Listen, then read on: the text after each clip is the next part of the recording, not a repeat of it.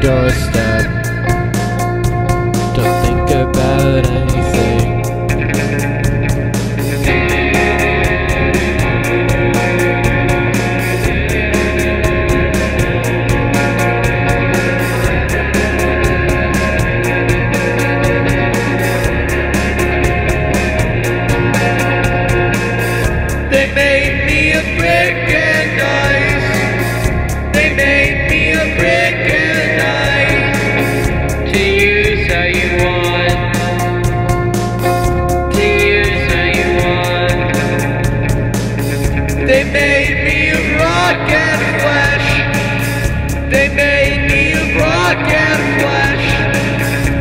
say